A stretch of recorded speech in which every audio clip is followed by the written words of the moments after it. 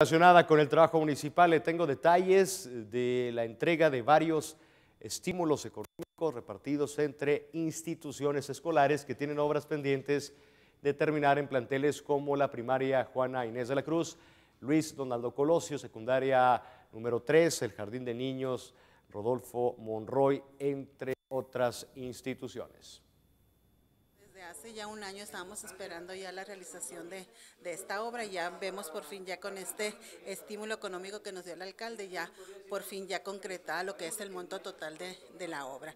Eh, es un gran impacto para los niños porque es una sala audiovisual, pero al mismo tiempo va, va a a dar el servicio como para los niños que tienen necesidades educativas especiales.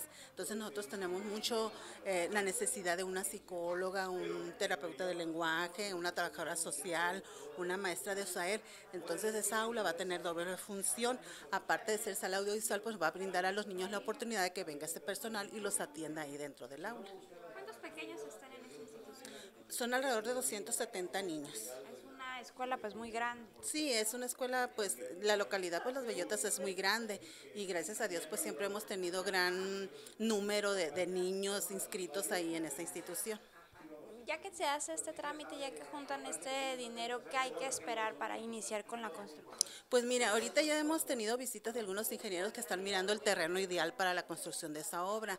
Y ellos están mirando lo que es, en, qué parte va a estar mejor ubicada la obra. Ya ves que aquí en Nogales pues es puro cerro, entonces si es la parte baja, la parte media o la parte alta. Pues yo consideré que sea la parte media porque es mm, pues es una parte más plana, pero ya ellos decidirán en qué lugar más apropiado se construirá la obra. ¿Se hará este año?